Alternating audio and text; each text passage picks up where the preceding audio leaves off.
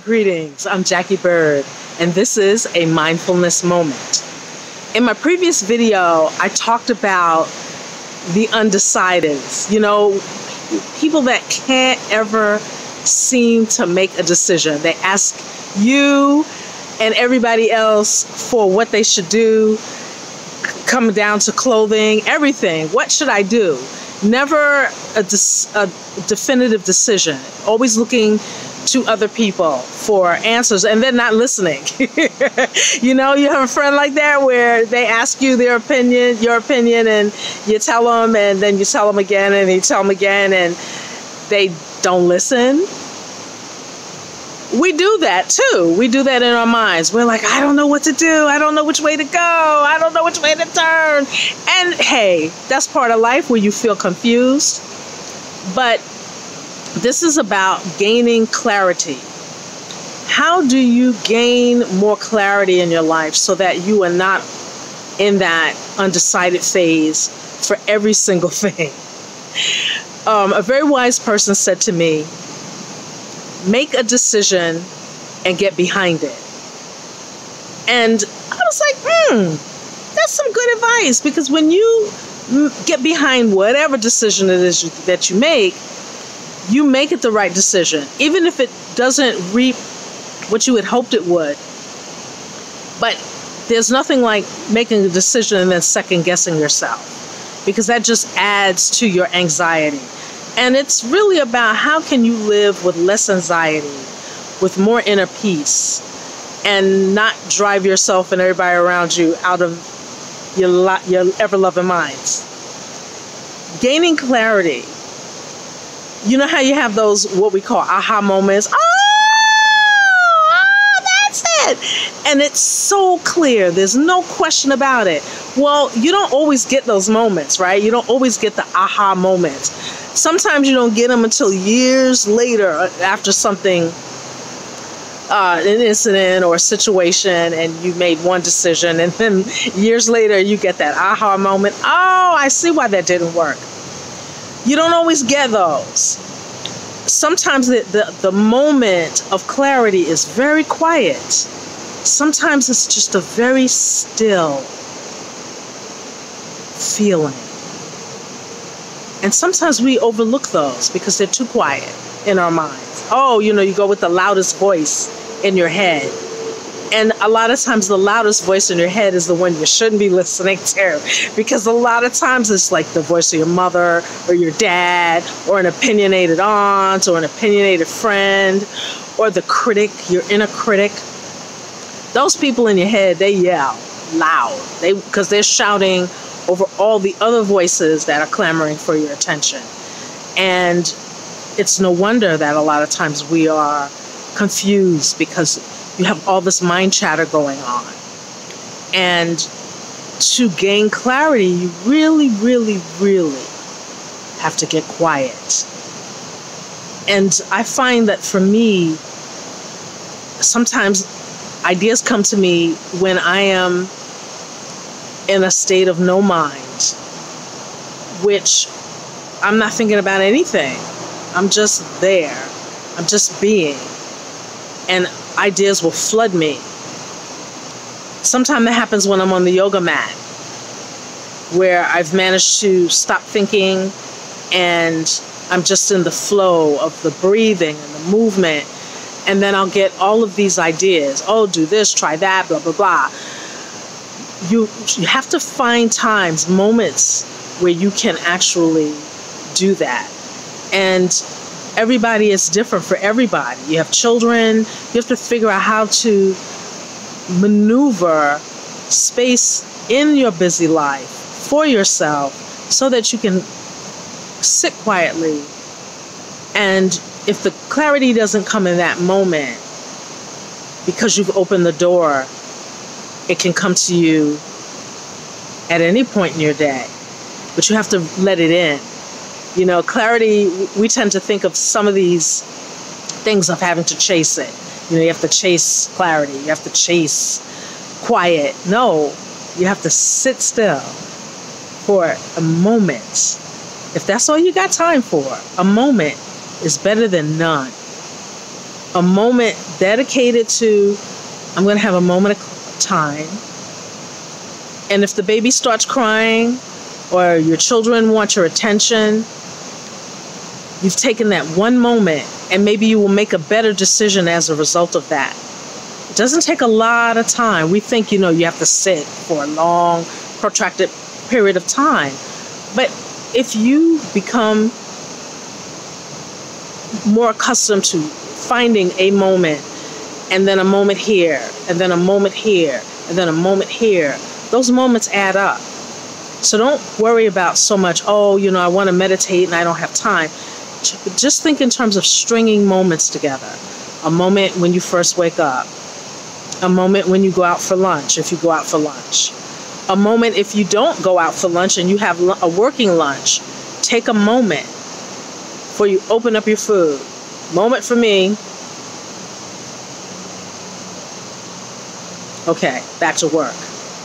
But you see what I just did? I inhaled and I exhaled on purpose. Sometimes that's all you need. Sometimes that serves as a boost to help you keep going. I'm going to do it again.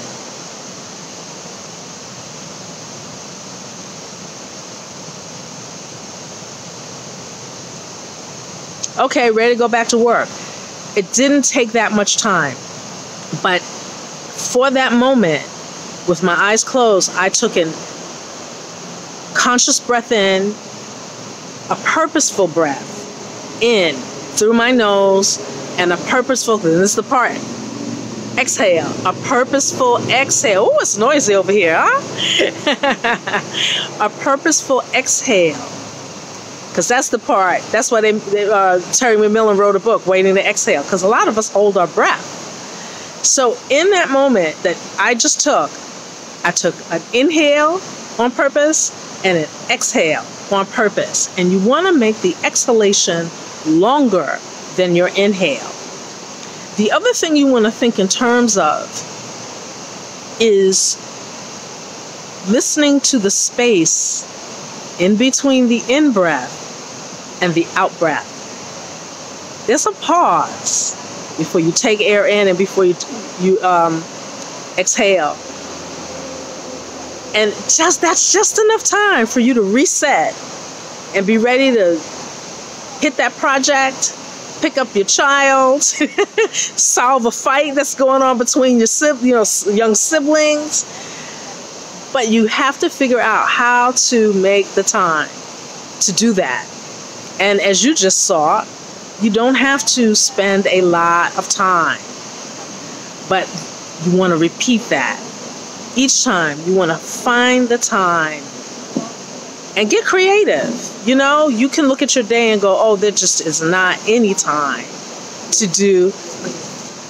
You guys can go there if you wanted to. I'm shooting myself. Oh, I know. Hi guys. That's a, but I appreciate you for that. See, kindness is everywhere. You just have to be aware that it is it surrounds you. But that's a whole nother mindfulness moment talk. This is about gaining clarity. And actually, that was clarity right there. Noticing them coming, noticing that they decided, oh, she could be shooting something and we don't want to get in her way. And noticing that they did that. And acknowledging, because that's the other part of it. When you notice things, acknowledge ah, I took a breath today. I took a moment today. Not the beat up, ah, I didn't do this and I should have done that. That's not clarity. That's not where clarity lives. Give yourself credit. I took a moment. That's all I could find time for. I took that moment. That's a check mark in that list. Maybe the next day you'll take two moments. And it does take creativity. Nobody can tell you, I think, how you can organize your day better. I mean, yeah, people say, oh, you know, you do this and you do that. The thing is, if this is something that you want, you will create the time. And as I said, it's just a matter of a moment at a time. That's really all we have is a moment at a time. And the choice is, what are you doing with that moment? So join me close your eyes, take a deep breath in, and a deep breath out. Again, take a deep breath in. And a deep breath out. Keep going. I'm going to walk toward the water so you can hear the sound. Take a deep breath in. And a deep breath out. Take a deep breath in. And a deep breath out. Hopefully, you're beginning to hear the sound of the water. Breathe in and out. Breathing in and out. Breathing in. Exhaling out. Breathing in. and breathing out. Breathing and out. One more. Breathe in and out. The next time that you do this, when you find time to just take a moment, you can open your eyes now. I, I found my water when you just look to carve out times and moments ask a question. If there's something that you're struggling with, as you get more versed, more accustomed to finding moments in your day to just take that breath in and out, maybe there's something that you're wrestling with, as I said. Breathe in on the inhale, ask the question. On the exhale, into silence. On the inhale, keep it simple, whatever that question is and exhale in silence. And just to repeat that, asking that question that you have, and you then go, What are, please show me solutions. So when you repeat the in breath, I am open to solutions. Or please show me solutions. Or however you want to phrase that. It's always, I think, best when it's in your own words however you want to phrase that. Asking for solutions. Try not to dwell on the problem. And then go on about your day. Come back to it. Repeat it. And whatever that thing is that you've been wrestling with because you're only looking at that problem and how bad the problem is and all of the things that could go wrong with the problem, starting to take those moments of asking for clarity with the question of how, you know, whatever it is, how do I solve this? How do I solve this? That's what you want to know.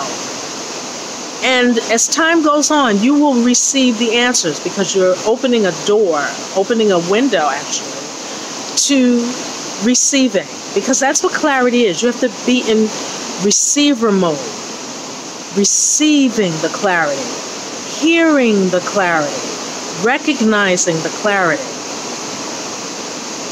So as you move through your day, may you bump into, fall into, trip over, however it works, into clarity.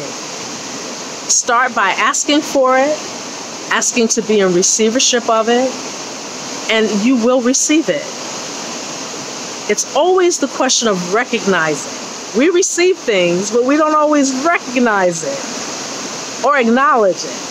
So when you receive your answers to this and in, solutions to what you're looking to have clarified, acknowledge and, and be grateful and acknowledge that you are in receivership of this that you're asking for. May you enjoy your day or your night, become more present and aware as you move through your day. Listen better to the people around you. When your children are trying to get your attention, actually give it to them. without doing 40,000 other things. If another person is talking to you, give them your full attention. I know you're like, oh, I got 10,000 things to do. Do one thing at a time. Focus and speak to that person.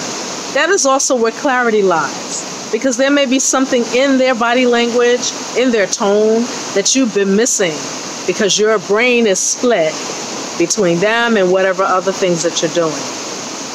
Clarity is an interesting thing. May you be in receivership. Thank you for your time. I'm Jacquie Bird, Jacquie Bird Spiritual Wellness.